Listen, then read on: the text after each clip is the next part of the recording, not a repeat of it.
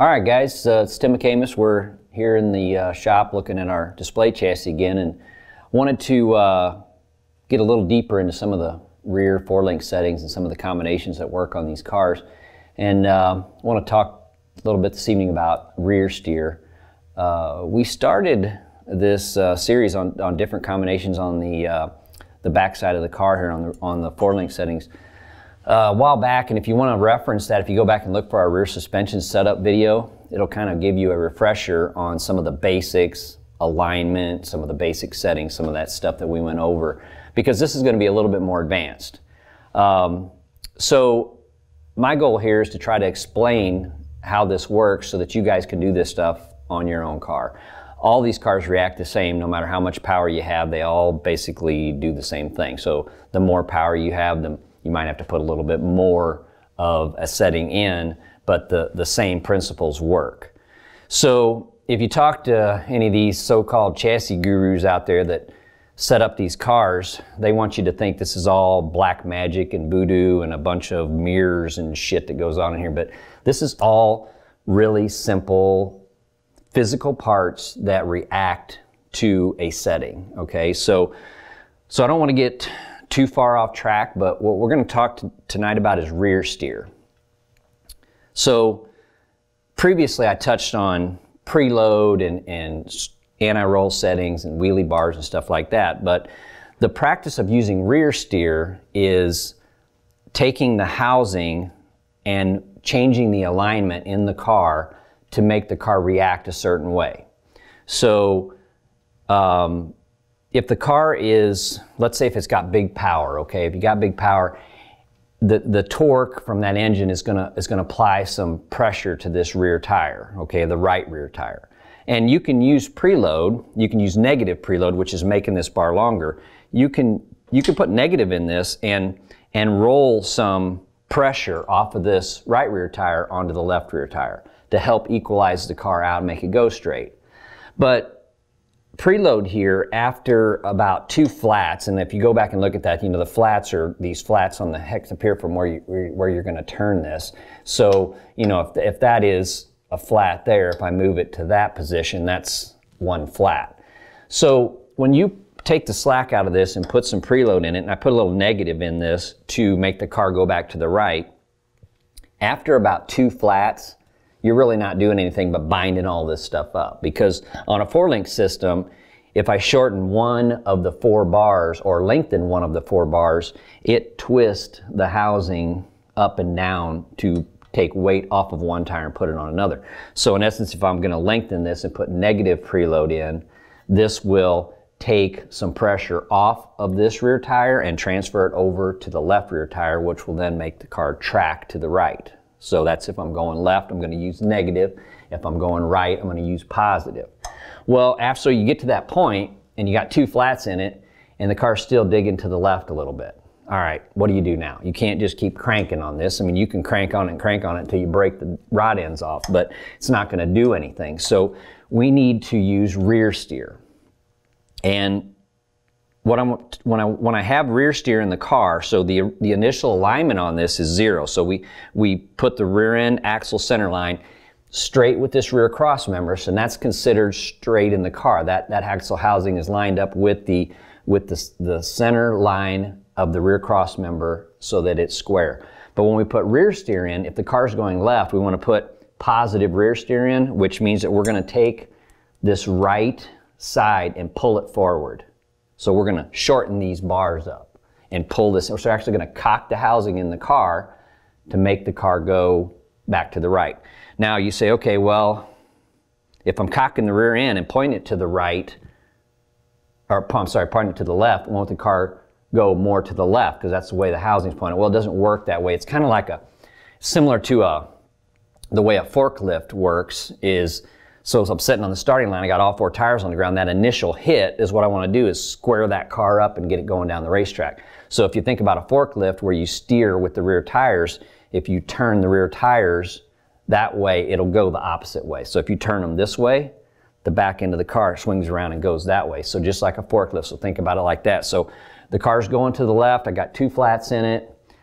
I'm gonna put some rear steer in. So I'm gonna take this back to neutral and then I'm going to pull this housing forward on this side, which in turn will cock the left side back a little bit. So we're going to take it and just twist it just slightly in the car because we're making our adjustment here so our wheel's out here. So that's going to give us back on that side, forward on this side. And, and it doesn't take much. I like to measure it here at the axle flange, and you can simply do that with a, with a string plumb bob and measure to the rear cross member. You can measure each side and make sure that it's square, and then you can pull it forward.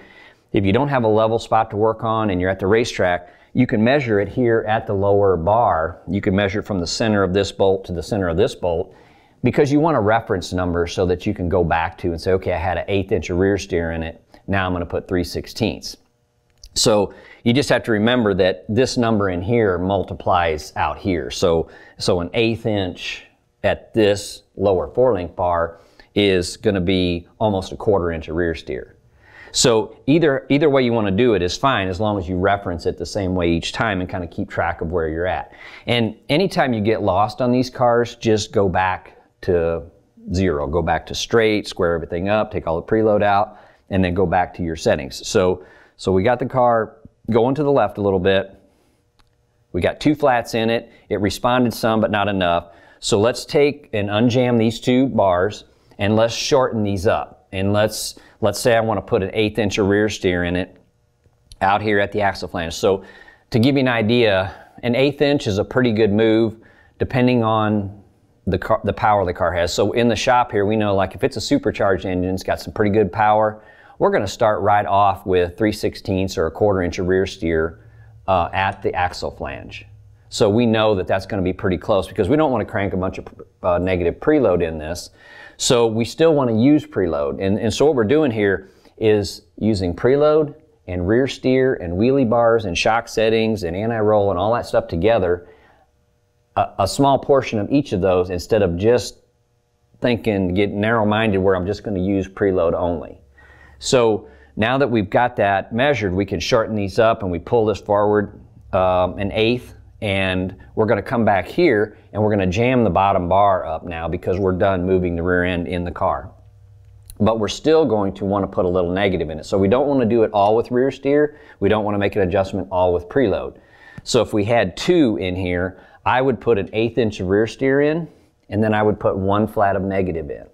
So that way I've got a, a little bit of both uh, of the adjustments working for me to push the car back to the right. Now, one thing you have to remember too is that you need to check the center of the housing in the car when you start putting rear steer in because if you cock the housing, you have a wishbone assembly here that's a three point uh, mount to center the rear end in the car this way from side to side. So if you start jacking the rear end around, that housing is going to push over to the right a little bit, if you're putting positive rear steer in. So doesn't matter if your wishbone's mounted one way or the other, if you put it in there, it has to cock it just a little bit. So check that. And now, since we've cocked the rear end, we really can't use our alignment bars like I showed you in another video, use the alignment bars and measure over to the four link bracket because we have the rear end crooked. You have to put the alignment bar in up and down this way and measure over to the to the chassis at this point so that we get the rear end housing centered in the car from side to side. So if you can imagine, if I've got now, and when you're checking that alignment, make sure this is neutral. Don't check this with preload in it because we're going to be cocking that rear end housing. So if I had the alignment bars on it and I put rear steer in, those two alignment bars now would, would they would feed over to the left. So if I measured off of them, the measurements would be way off. So I want to measure the rear steer here at the four link bar or out here on a plumb bob. And then once I'm happy with that, I want to turn those things straight up and measure right over here to the chassis on each side and make that number the same. Now I know that I've got my rear end housing centered in the car from left to right. So if you look at the back of the car, your shocks are nice and straight up and down, or if your shocks are mounted in at the top a little bit, they're both about the same, but now you have your rear end housing centered, but you have positive rear steer in the car. And that will easily straighten that car back out. And there are limits to it too. So you don't want to have an inch of rear steer. That's way too much. So you can use a little bit of rear steer. And out here at the wheel, you can, you know, you can use as much as 3 eighths or 7 sixteenths or even a half inch out here at the wheel, not at the bracket. That's a half inch at the at the bar here is too much. So out here at the wheel, um, you would be, at, let's say, a half inch maximum or maybe a quarter inch here at the bar difference from side to side. So same way works if the car's going right, you can put a little negative rear steer in it, which would be to pull this back. But the tendency to use rear steer is because the car is going left, because as the power increases, the torque of the engine is going to roll the, the drive line here over and try to drive this right rear tire harder. So in essence, we're going to take that and we're going to use a little bit of preload, a little bit of rear steer. We're going to use a little stagger in the wheelie bars, and we can even use a little stagger in the shock settings to straighten that car out and get it going straight down the track. Now, after we get this set and after you make this change, then I like to come back and neutral um, the uh, anti-roll bar so it doesn't have any load in it. And I do all this with the tires off, rear end hanging, set it in the pits, bolt it together and go. You don't have to do it down on the ground. You don't have to crawl under the car and check all this stuff because once you get your baseline with it up on the jacks and, and back in the pits, and that, that's your number to use every time. And then let the car react to the change and then come back and make adjustments from that. Just remember, these, these, are, these are just, cars are just, these chassis are just tubing and mechanical parts. They don't have any logic or any kind of intelligence in them. It's, it's the people turning the screws on these things and make them go left or right.